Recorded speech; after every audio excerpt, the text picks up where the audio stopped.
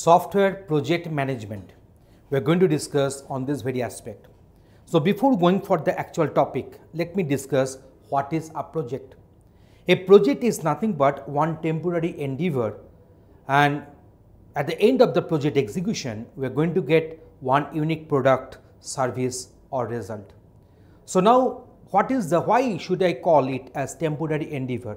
Because each and every project must be having a specific start date and specific end date. A project cannot go forever. Whatever which is going to go forever is not a project, that is a production. So at the end of the project, we are going to have one unique service, product or result. Let us suppose we are very much eager to have our doctorate degree. We are going for some research work. So we'll be doing that research for say three years of time, say for say four years of time. Then at the end of that, we are going to get one new result there is a new innovation.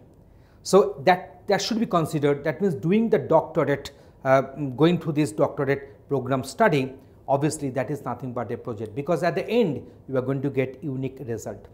Whenever we develop software then obviously each and every software has got different requirement list, different client, the different might be the platforms are distinct from one software to another software. So as a result of that, as the software architecture may differ, the requirements are different, the user interfaces are different, the functional and non-functional requirements are different. So each and every software is software development process is a project because at the end we are going to have a unique service or product or result. In case of software development, we are going to get a unique product.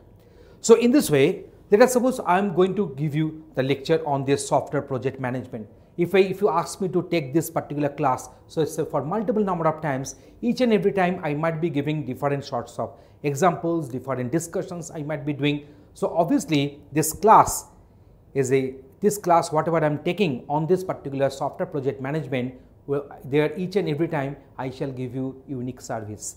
So that is known as a project.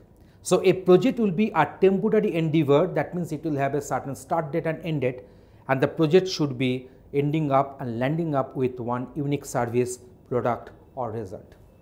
So now let us consider the software project management. So the job pattern of an IT company engaged in software development can be seen split into two parts. So what are the parts? One is the software creation and the one is the software project management.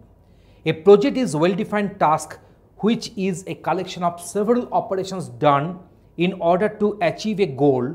For an example, the software development and the delivery, a project can have the can have the following characteristics or can be characterized as every project may have a unique and distinct goal. Project is not a routine activity or day-to-day -day operation. If it is so, that means it is a production, it is not a project and project comes with a start and end time.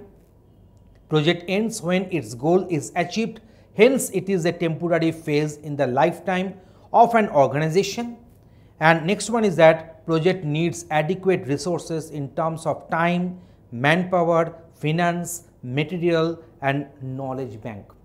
So here we are having this respective project management you can discuss in this way. Now software project a software project is the complete procedure of software development from requirement gathering to the testing and maintenance and carried out according to the execution methodologies in a specified period of time to achieve the intended software product. Whenever we develop one software for a specific purpose, then it would become a software product. So each and every software product will be the outcome of a software project and there we require the required resources, the required knowledge, the required manpower, required funding, budgeting and so on. And in this way within a stipulated time frame we are going to make one software product ready with the help of software project management. Thanks for watching this video. Tutorialspoint.com Simply easy learning.